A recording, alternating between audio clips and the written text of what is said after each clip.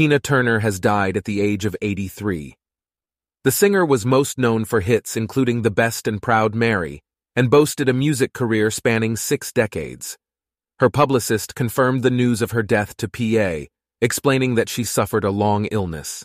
In a statement, they said, Tina Turner, the queen of rock and roll, has died peacefully today at the age of 83 after a long illness in her home in Küsnacht near Zurich, Switzerland.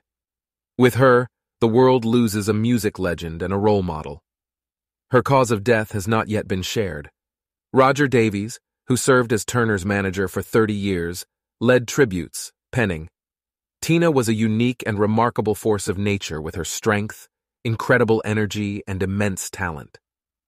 From the first day I met her in 1980, she believed in herself completely when few others did at that time. It was a privilege and an honor to have been a close friend as well as her manager for more than 30 years. I will miss her deeply.